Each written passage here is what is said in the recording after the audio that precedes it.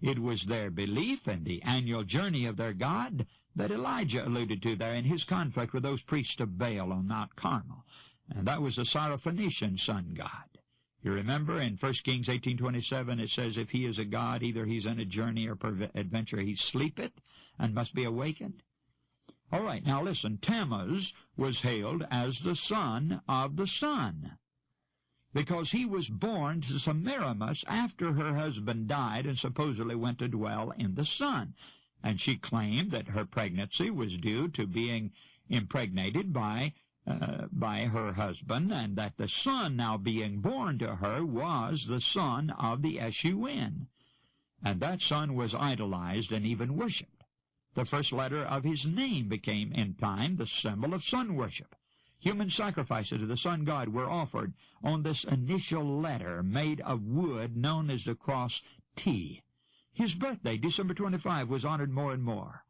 When Tammuz died, the pagans instituted forty days of weeping for him before the full moon following the vernal equinox. Now think of it, friends. Satan worked many years before the conception and birth of the true Messiah Jesus to counterfeit through sun worship his miraculous conception and birth. Now let's read about this very thing in the Bible. Perhaps some of you never knew that the Bible even mentions this. But I'm reading now from Ezekiel chapter 8 verses 12 to 18. Then said he unto me, Son of man, hast thou seen what the ancients of the house of Israel do in the dark, every man in the chambers of his imagery? For they say, The Lord seeth us not, the Lord hath forsaken the earth. He said also unto me, Turn thee yet again, and thou shalt see greater abominations that they do. Then he brought me to the door of the gate of the Lord's house, which was toward the north. And behold, there sat women weeping for Tammuz. Then said he unto me, Hast thou seen this, O son of man? Turn thee yet again, and thou shalt see greater abominations than these. And he brought me into the inner court of the Lord's house. And behold, at the door of the temple of the Lord, between the porch and the altar, were about five and twenty men, with their backs toward the temple of the Lord, and their faces toward the east, and they worshipped the sun toward the east. Then he said unto me, Hast thou seen this, O son of man? Is it a light thing to commit the abominations which they commit here? For they have filled the land with violence, and have returned to provoke me to anger, and lo, they put the branch to their nose. Therefore will I also deal in fury. Mine eye shall not spare, neither will I have pity, and though they cry in mine ears with a loud voice, yet will I not hear them. Now, friends, God's people were constantly coming in contact with paganism, which was nothing more or less than sun worship. They were constantly being tempted to follow the religion of the pagans instead of the Bible. Satan succeeded many times in leading God's people into sin and pagan sun worship. The prophet was shown greater and still greater abominations. He was shown the people turning their backs on the temple of God and worshiping the sun toward the east. They also worshiped the moon goddess, Semiramis, the so-called queen of heaven. Let me read you what they did in Jeremiah 7, 16 to 18. Therefore pray not thou for this people, neither lift up cry nor prayer for them, neither make intercession to me, for I will not hear thee. Seest thou not what they do in the cities of Judah and the streets of Jerusalem? The children gather wood, and the fathers kindle the fire, and the women knead their dough, to make cakes to the Queen of Heaven, and to pour out drink offerings unto other gods, that they may provoke me to anger. Now, friends, these cakes were round, and on them was cut a cross in honor of the sun god, and they were offered to the Queen of Heaven. And today they're called hot cross buns. Now, let's notice a few striking and outstanding things that took place. And keep in mind that the devil, who is really the author of pagan sun worship, had been working for centuries to get this false worship so implanted in the world that God's true plan of salvation through Jesus Christ would be insulted and, if possible, be made a failure. Now, first, the exact date of Christ's birthday was not really known. And so it was suggested, why not call it the same date as the birth of Tammuz, which was December 25? And uh, that, too, was the time when the sun had reached its lowest point on the horizon and started back up in the heavens. The sun god had come to life, so to speak.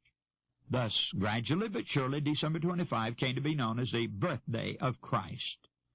The papal church finally instituted a special Mass on that day, Christ Mass, and so December 25 became Christ Mass, taken from Christ Mass. The Yule Tog, Yule log rather, burning in the fire, followed by the green tree lighted with candles, all came in from the pagans' worship, representing Nimrod's being dead, while his spirit still lived in the sun, and was alive again in Tammuz, his son. Again, Christ was crucified and resurrected in the spring of the year, near the time of the moon festival. The devil was on hand again to bring in the idea of having a celebration the same time as the heathen, and even doing as they did, but calling it in honor of the resurrection. The cakes to the Queen of Heaven became the hot cross buns. You read that now in Jeremiah 7, 16 to 18. The forty days of, quote, weeping for Tammuz, in Ezekiel 8, 12, and 18, became Lent. And at the close of Lent came Easter Sunday. As I've already mentioned, this goddess Ishtar came to be known as the goddess of springtime, new life, or as history records it, the goddess of reproduction. The pagans went out to some mountainside early Sunday morning and worshipped this goddess as the sun was rising in the east. They gave themselves to immorality and indecency of every description. The eggs and rabbits were used as symbols of fertility and, of course, germination of life, life principle. Now, friends, are you following what I'm saying? How many of these pagan ideas came into the early celebrations back there in the early Christian church? Now, friends, listen. What an insult that was to our Lord and Savior Jesus because he arose from the dead or came to life early Sunday morning, Satan succeeded in transferring the insulting festival to the pagans over in honor of Christ's resurrection. And so today we still have the bunny rabbits and, and Easter eggs, or Ishtar eggs, as they really should be called, in honor of the, of the Easter goddess of the sun or uh, goddess of uh, reproduction rather, and we have the hot cross buns, the early sunrise service, all being put forth in honor of Christ's resurrection. And yet it all came into the church gradually and was blessed by the church and given to the world. Well, friends, our time has slipped by today, but we'll continue our series in the next broadcast. And please don't miss the next link in this chain, chain because I'll be talking about one of the most breathtaking arrogant deceptions that Satan ever devised, and how he used it to try to humiliate the Son of God.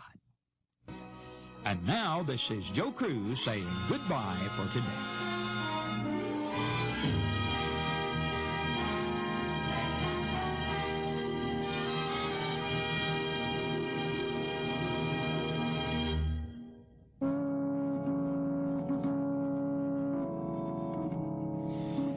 Victorious campaign, Alexander the Great crucified over 10,000 human beings to celebrate his victory.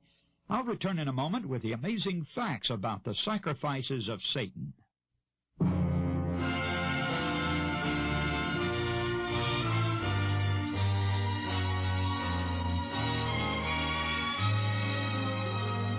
Hello, this is Joe Crews and the Amazing Facts broadcast, facts which affect you. Today we come to the climax of our series on paganism in the church, and the subject today is centered in the symbol of the cross. Although the cross has become a revered relic and often even an object of worship, I'd like to explore the ancient background of this cherished symbol. In our last broadcast, we discovered that the Bible describes the worship of Tammuz, the pagan god of the sun. Satan inspired those idolatrous people to represent Tammuz by the letter T, the first letter of his name. It came to be a worldwide symbol of sun worship and all the moral pollutions attached to that kind of worship. The heathen actually sacrificed human beings to the devil on crosses. Centuries before Jesus was born, crucifixion was a method of worshiping the pagan sun god. When sun-worshipping generals went to battle, they offered thousands of human sacrifices to the devil. It's said that Alexander the Great, after a victorious campaign, crucified over 10,000 human beings on the cross to celebrate his victory. 3,000 chief Babylonians were crucified at one time as a sacrifice to the devil. When the Catholics first went down into South America and Mexico, soon after they were discovered, they were amazed to find that the sun-worshipping heathen there had crosses. They were amazed because they did not know that they knew anything about crosses. They didn't know anything about Christianity, but they had crosses because they were the sign of Tammuz, the sun god. But listen, friends, the time finally came for the Son of God to be born. The exact day of his birth, of course, nobody knows, but he lived to be thirty-three and a half years when he was crucified, which was in the spring of the year at the time of the Passover. Now listen, it's almost too terrible for words. You remember Tammuz was exalted by Satan to be the false Messiah or rival of Jesus. The symbol of the cross, the first letter of his name, T, was the sign of sun worship. Down through the years, many times, as Satan had succeeded in leading Israel into sin and pagan sun worship, it had seemed that the sun god was victorious over the true God. Jesus, the creator of the world, came into a world that had forgotten him. He suffered every insult at its hands and finally died upon the symbol of sun worship, the cross, as Paul says, even the death of the cross. Now, in order to show that his system of worship was superior to that of God's, and to show his supremacy, Satan heaped the supreme insult upon Christ by crucifying him upon the cross, the symbol of sun worship. Think of the Son of God dying in such awful humiliation while the people looked on in derision. What mockery, and what rejoicing then by the demons. The Son of God delivered by his own people and crucified by the sun-worshipping Romans on the symbol of sun worship. Think of the great Son of God dying in such awful humiliation while the people looked on, wagging their heads in mockery. But Satan saw that his disguise was torn away. His administration was laid open before the unfallen angels and before the heavenly universe. He had revealed himself as a murderer. The last link of sympathy was broken. And I heard a loud voice saying in heaven, Now is come salvation and strength and the kingdom of our God and the power of his Christ. For the accuser of our brethren is cast down, which accused them before our God day and night. Revelation 12, verse 10. Yet Satan was not then destroyed. For the sake of man, his existence must be continued. Man, as well as angels, must see the contrast between the Prince of Light and the Prince of Darkness. He must choose whom he will serve. Now, as we look at Calvary, what do we see? We see the author of life with his form stripped of all its clothing. He is hung before the sun on the symbol of the cross, the cross that was once the symbol of heathen worship and heathen pollution. And on that Friday afternoon the sun was darkened. God placed his hand over the sun while Christ hung upon the cross. Now, blackening the sun by God's hand was not just an incidental thing. It had some significance to it. There was a reason why that sun was darkened. You see, that sun to the heathen was a symbol of the devil, or sun god. So God placed his hand over the sun to show that he controlled the sun. God said, that's as far as you can go. God darkened the sun to prove he was the creator and had power over these things. But now, let's answer a most important question, friends.